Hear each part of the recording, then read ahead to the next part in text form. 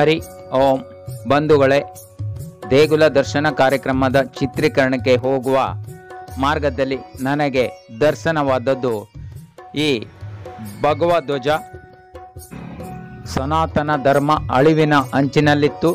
ಅಂಥ ಸಮಯದಲ್ಲಿ ಭರತ ಭೂಮಿಯಲ್ಲಿ ಧರ್ಮ ವೀರನೊಬ್ಬನ ಜನನವಾಗಿತ್ತು. ಪರಕೀಯರ ದರ್ಪವನ್ನು ಮೆಟ್ಟಿ ನಿಂತು ಭಾರತದಲ್ಲಿ ಮತ್ತೊಮ್ಮೆ ಹಿಂದೂ ಸಾಮ್ರಾಜ್ಯವನ್ನು ಸ್ಥಾಪಿಸಿದ ಮಹಾವೀರ ಛತ್ರಪತಿ ಶಿವಾಜಿ ಮಹಾರಾಜರ ಭಾವಚಿತ್ರವಿರುವ ಭಗವಧ್ವಜವನ್ನು ಈ ಮಾರ್ಗದಲ್ಲಿ ಸ್ಥಾಪಿಸಿದ್ದಾರೆ. ಅದನ್ನು ನೋಡಿ ನನಗೆ ರೋಮಾಂಚನವಾಯಿತು. ಧ್ವಜಕ್ಕೆ ವಂದಿಸಿ ಈ ಮಾರ್ಗವಾಗಿ ದೇವಸ್ಥಾನದ ಕಡೆಗೆ ಈಗ ನಾನು ಹೋಗ್ತಾ ಇದ್ದೇನೆ. ಭಟ್ಕಳ ತಾಲೂಕಿನ ಹೆಬಳೆ ಪಂಚಾಯತ್ ವ್ಯಾಪ್ತಿಯಲ್ಲಿ ಬರುವ ಬಾಳೆಹಿತ್ಲು ಶ್ರೀ ನಾಗಯಕ್ಷೆ ದೇವಸ್ಥಾನದಲ್ಲಿ ಇಂದು ದೃಢ ಸಂಪ್ರೋಕ್ಷಿಣ್ಯ ಕಾರ್ಯಕ್ರಮವಿದ್ದು ಇಂದಿನ ದೇಗುಲ ದರ್ಶನ ಕಾರ್ಯಕ್ರಮದಲ್ಲಿ ಅಲ್ಲಿನ ಮಾಹಿತಿಯನ್ನು ತಿಳಿದುಕೊಳ್ಳೋಣ. ಬಂಧುಗಳೇ, ಜಗತ್ತಿನ ಎಲ್ಲ ಜೀವಿಗಳ ತಾಯಿ ನಾಗ ಯಕ್ಷೆ ನೆಲೆ ನಿಲ್ಲದ ಸ್ಥಳಗಳಿಲ್ಲ. ಈ ಭೂಮಿಯ ಮೇಲೆ ಹುಟ್ಟಿರುವ ಪ್ರತಿಯೊಬ್ಬರಿಗೂ ಒಂದಲ್ಲ ಒಂದು ಸಮಸ್ಯೆಗಳು ಇದ್ದೇ ಇರುತ್ತದೆ. ಪ್ರತಿಯೊಂದು ಕಷ್ಟಕ್ಕೂ ಪರಿಹಾರ ಕೂಡ ಇದ್ದೇ ಇರುತ್ತದೆ. ಹೆಚ್ಚಾಗಿ ನಾವು ಕಷ್ಟ ಬಂದಾಗ ಮೊರೆ ಹೋಗೋದು ದೇವರ ಬಳಿ. ಮಾತ್ರ ಸ್ವರೂಪಿಣಿಯಾದ ನಾಗಯಕ್ಷೆಯನ್ನು ಕಷ್ಟ ಎಂದು ಬೇಡಿದಾಗ ಓಡೋಡಿ ಬಂದು ನಮ್ಮ ಕಷ್ಟಗಳನ್ನು ಪರಿಹರಿಸುತ್ತಾಳೆ ಶ್ರೀ ನಾಗಯಕ್ಷಿ ದೇವಿ. ಹಾಗೂ ಇಲ್ಲಿನ ಸಹ ಪರಿವಾರ ದೇವರಾದ ಜಟಗೇಶ್ವರ ಹಾಗೂ ನಾಗ ಚೌಡೇಶ್ವರಿ ದೇವರು. ಮುಖ್ಯವಾಗಿ ದೇವಿಯು ಸಂತಾನ ಇಲ್ಲದವರಿಗೆ ಸಂತಾನ ಭಾಗ್ಯವನ್ನು ಅದೇ ರೀತಿ ಅನಾರೋಗ್ಯ ಸಮಸ್ಯೆಯಿಂದ ಬಳಲುವವರಿಗೆ ಆರೋಗ್ಯವನ್ನು, ವ್ಯಾವಹಾರಿಕ ಸಮಸ್ಯೆಯನ್ನು ಹಾಗೆ ಕೆಲವು ಮೀನುಗಾರರು ಸಮುದ್ರಕ್ಕೆ ಇಳಿಯುವ ಮೊದಲು ಇಲ್ಲಿಗೆ ಬಂದು ದೇವಿಗೆ ಪೂಜೆ ಸಲ್ಲಿಸುತ್ತಾರೆ. ಹೀಗೆ ಶರಣೆಂದು ಬಂದವರನ್ನು ಸಲಹುತ್ತಿದ್ದಾಳೆ ಈ ನಾಗ ಯಕ್ಷಿ ದೇವಿ ಅನಾದಿ ಕಾಲದಿಂದಲೂ ಮಕಾಟಿ ಮನೆ ಕುಟುಂಬದವರು ಈ ದೇವಸ್ಥಾನವನ್ನು ನಡೆಸಿಕೊಂಡು ಬರುತ್ತಿದ್ದು, ಜೀರ್ಣಾವಸ್ಥೆಯಲ್ಲಿದ್ದ ಶ್ರೀ ದೇವಿಯ ಸನ್ನಿಧಾನದಲ್ಲಿ ದೇವಸ್ಥಾನದ ಜೀರ್ಣೋದ್ಧರದ ಸಲುವಾಗಿ ಅಷ್ಟಮಂಗಲ ಪ್ರಶ್ನೆಯನ್ನು ಶ್ರೀ ವಿಷ್ಣು ಪ್ರಸಾದ್ ನಂಬೋದರಿ ಕೇರಳ ಇವರ ಅಷ್ಟಮಂಗಲ ಪ್ರಶ್ನೆಯಲ್ಲಿ ವಿಧಿತವಾದ ಪ್ರಕಾರ ದೇವಸ್ಥಾನದ ಜೀರ್ಣೋದ್ಧಾರವನ್ನು ಜನವರಿ ಇಪ್ಪತ್ತೆರಡು ಇಪ್ಪತ್ತ್ಮೂರು ಇಪ್ಪತ್ತ್ನಾಲ್ಕು ಎರಡು ಸಾವಿರದ ಇಪ್ಪತ್ತೆರಡರಂದು ಮಕಾಟಿ ಮನೆ ಕುಟುಂಬ ಹಾಗೂ ಸದ್ಭಕ್ತ ಮಹನೀಯರ ಸಹಕಾರ ಯೋಗಗುರು ಶ್ರೀ ಗೋವಿಂದ ದೇವಡಿಗರವರ ತಂಡದ ಪ್ರಯತ್ನ ಹಾಗೂ ಗ್ರಾಮದವರ ಸಹಕಾರದಿಂದ ಸುಂದರವಾದ ಶಿಲಾಮಯ ದೇವಸ್ಥಾನ ಗರ್ಭಗುಡಿಯ ಶಿಖರ ಕಲಶ ಪ್ರತಿಷ್ಠೆ, ದೇವಸ್ಥಾನದ ಜೀರ್ಣೋದ್ಧಾರ ಪುನರ್ ಪ್ರತಿಷ್ಠೆಯನ್ನು ನೆರವೇರಿಸಲಾಗಿದೆ. ಈಗ ಪ್ರಧಾನ ಅರ್ಚಕರು ಮಹಾ ಮಂಗಳಾರತಿಯನ್ನು ದೇವಿಗೆ ಬೆಳಗಲಿದ್ದಾರೆ.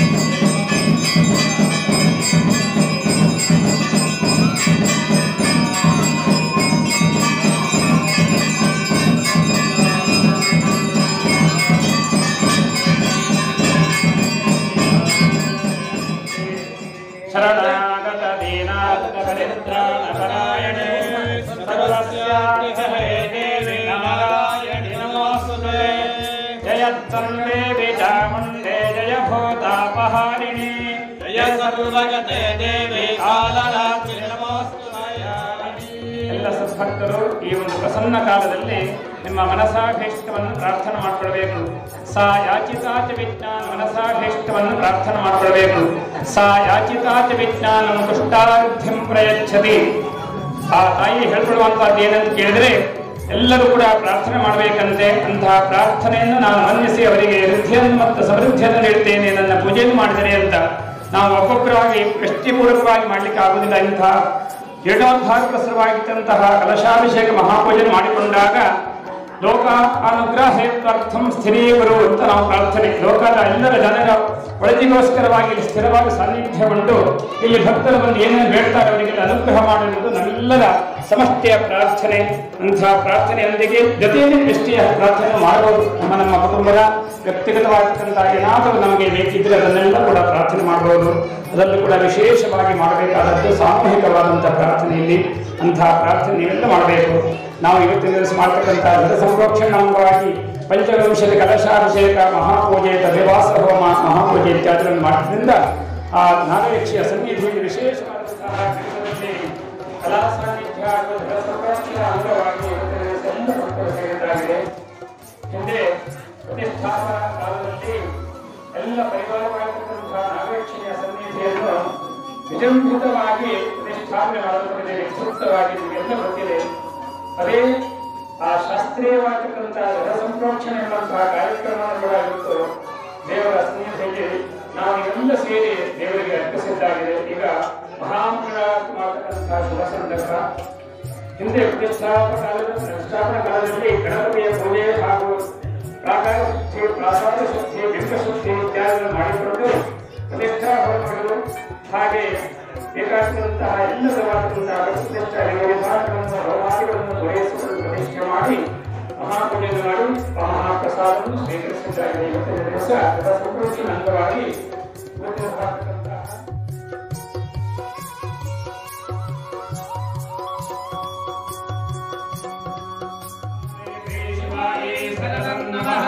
सर्वस्वरूपे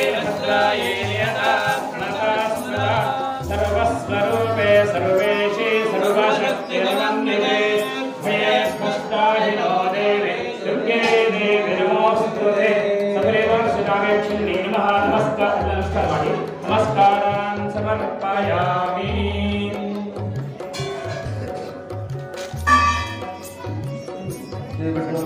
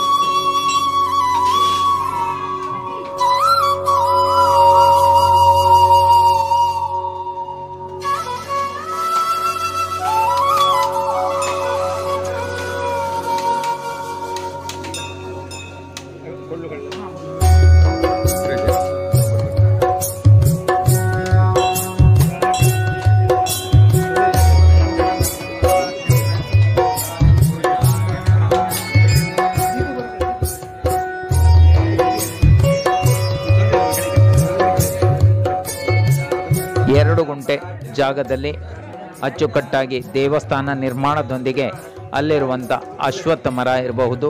ಹಾಗೆ ಪರಿವಾರ ದೇವರ ಬಳಿ ಇರುವಂಥ ಆಲದ ಮರ ಹಾಗೆ ಸುರಿಗೆ ಮರ. ಈ ಮರಗಳನ್ನು ಅಲ್ಲೇ ಉಳಿಸಿಕೊಂಡಿರುವುದು ಇನ್ನೊಂದು ವಿಶೇಷ ಅಂತ ಹೇಳಬಹುದು.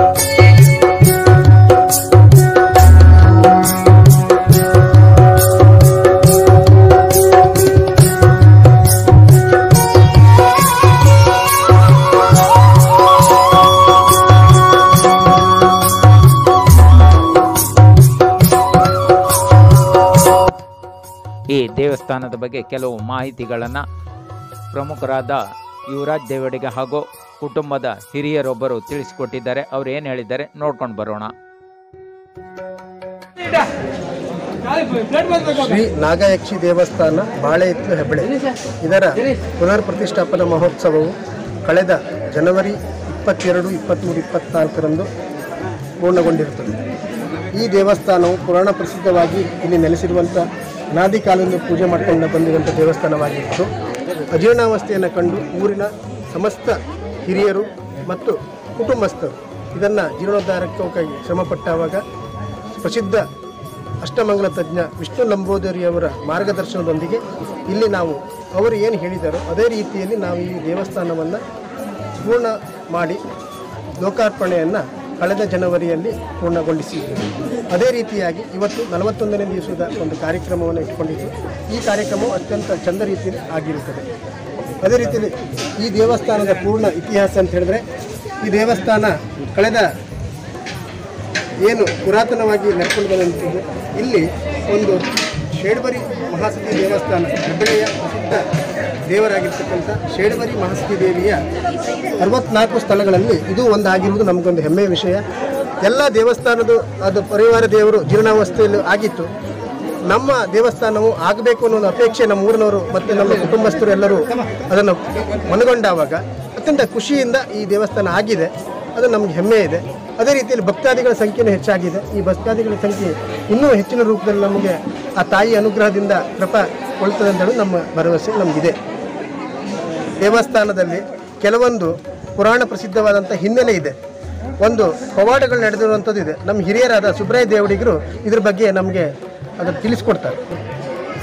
ಸಂತತಿ ಇಲ್ಲಂತ ಅಂತೇಳಿ ಬೇಡದಲ್ಲಿಗೆ ಅವರಿಗೆ ಸಂತತಿಯನ್ನು ಎರಡು ಫಲವನ್ನು ಕೊಟ್ಟಿತ್ತು ಆ ಎರಡು ಫಲನು ಹೀಗೆ ತುಡುಕ ತಿಮ್ಮಂಗೆ ಆಗಿದೆ. ಸಂತತಿ ಆಗುವುದೇ ಇಲ್ಲ ಅಂತ ಹೇಳಿದ ಪರಿಸ್ಥಿತಿಗೆ ಇಲ್ಲಿ ನಮ್ಮ ತಂದೆಯರು ಬಂದು ಇಲ್ಲಿ ಹೇಳಿಕೆ ಇಟ್ಟಲ್ಲದೆ ಸಂತತಿ ಕೊಡುತ್ತೆ ಅಂತ ಹುಕುಮ್ ಆಗಿತ್ತು. ಅದೇ ಪ್ರಕಾರ ಹಾಗೆ ಸಂತತಿಯನ್ನು ನೀಡದೆ. ಕೆಲಸ ಯಾವುದೇ ಒಂದು ಕೆಲಸ ಮಾಡೋದಿದ್ರು ಇಲ್ಲಿ ಬಂದು ಬೇಡ್ಕ ಹೋದರೆ ನೆರವೇರಿಸ್ತದೆ ಅಂತ ಹೇಳಿ ನಮ್ಮ ಹಿರಿಯವ್ರದ್ದು ಸಂಕಲ್ಪ, ನಮ್ಮದು ಸಂಕಲ್ಪ. ಅದು ನಡೆದಂಥ ಕಾರ್ಯಕ್ರಮ ಅದೇ ಇಲ್ಲಿ.